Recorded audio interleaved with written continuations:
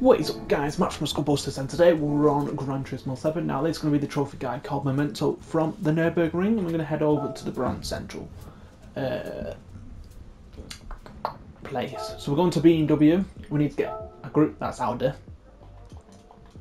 We're going to get a group 3 car and I believe it's the, I don't know which one it is but I'm believing it's one of these, the GT3s.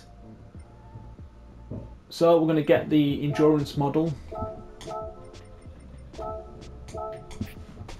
Don't know, don't ask me. We're just going to get it. And hopefully it's this one. It does say it there, group 3, right underneath M6. So we have got the correct one.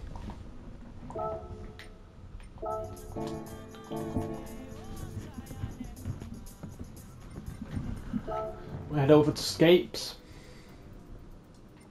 All spots uh, genre, circuit, and then we're going to the Nürburgring, which is this one right here, since it's got the painting on. Place car, you're going right there, and then you're just gonna I'm gonna pause from there.